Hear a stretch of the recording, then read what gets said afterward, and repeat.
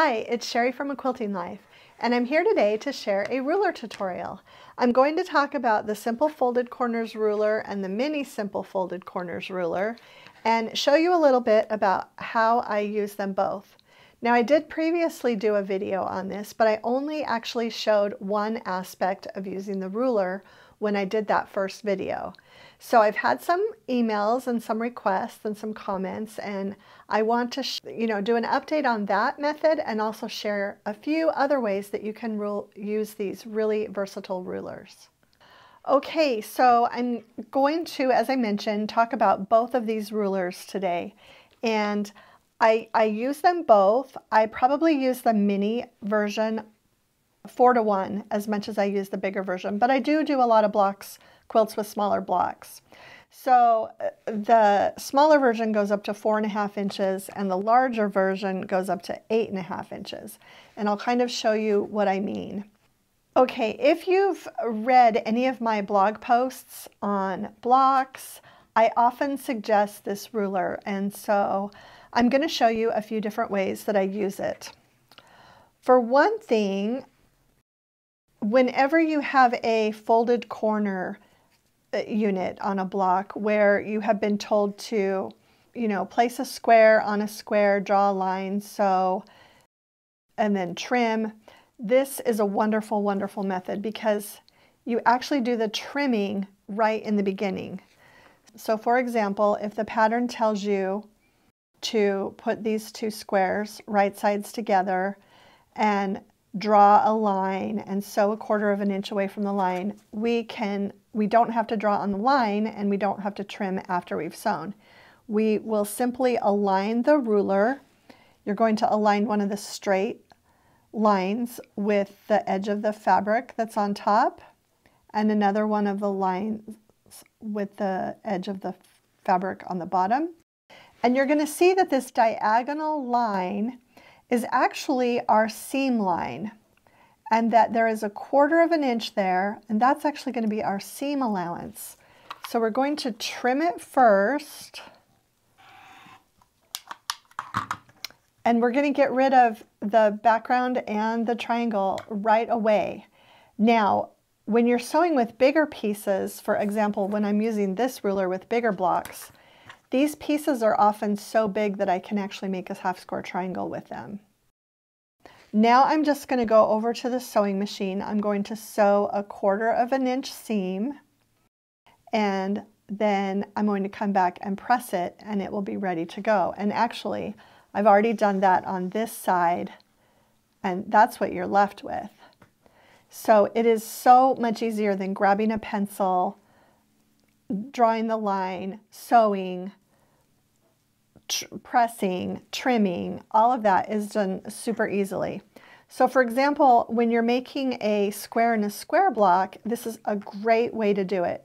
And what I always do is I always do the two opposite corners first, and then I add the third one, and then I actually add my fourth one, and I'm actually going to take this over to the machine this time and sew it and let you see how this unit finishes up. Okay, so once again, that's done. That can go away if it's small. If it's big, I add it to my pile of, of half square triangles to be sewn. I'm going to go sew this, and I'm actually going to go sew this one and come back and show you. Okay, so here's my completed square in a square unit. Here's the one that I just sampled for you that I already had the first one done and showed you the second one. And you can see that we've got our quarter inch seam allowance so that when this gets sewn into a block, there aren't going to be any points cut off. It's just a fantastic way to make this unit with, with eliminating some of the steps. Okay, another way I use this ruler is to make flying geese units. And again, it's the same exact method. So I have my, this is for a two and a half inch by four and a half inch or two by four finish flying geese. I've got my two and a half inch by four and a half inch background, my two and a half inch by two and a half inch square, and I'm going to do the same thing.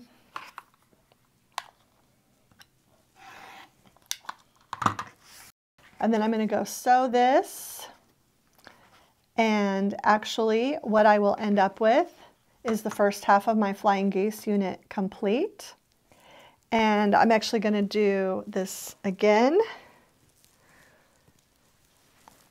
so that you can see the finished flying geese unit. So this time I will put it on the other side and I'm going to do the same exact thing. And I'm going to go sew this and bring this back and show you the finished flying geese. Okay, and so here's our finished flying geese unit. And so again, two of the main ways that I use this ruler are whenever I'm doing a square and a square, and flying geese. Now, a lot of you who have watched a lot of the videos know that I really do love the Creative Grids uh, Ultimate Flying Geese tool, and I also love my Bloc Locs for flying geese. But when I tend to use this a lot for flying geese is when it is a size that is not included on any of those rulers or when it's a larger flying geese unit. For example, a four and a half inch by eight and a half flying geese that I don't have a Bloc Loc for, I will go ahead and use the rulers. So I, I just can't say enough about these rulers. I want to show you something else that I use them for. Okay, now let me show you another favorite way that I like to use this ruler. A lot of you know that I like to make my half square triangles a little bit larger than they need to be and trim them down to the exact size needed for the pattern before I use them. And so you can use actually both of these rulers to do that as well. Um, it doesn't really matter which one. You can trim larger pieces with the larger ruler, of course, but I have these flying geese units that were left over from another project or, or half square triangle units that were part of another project and but they haven't yet been trimmed down. So what you do is you find your seam line where you've sewn and you're going to line up the diagonal line with that seam line. So if I put my two inch line, just for example, on here. There's a line right there. It has two, two, two, so I can make sure that it's lined up all the way. And I trim this.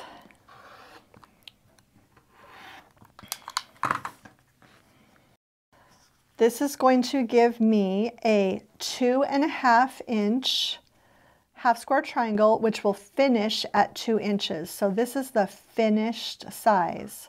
And I've got one that I actually pressed already, just to show you. I did a bigger one. And I pressed it. And you can, actually when you press them after you've trimmed, you can press the seams open or to the dark, whatever you want. And then all you need to do is trim off your little dog ears.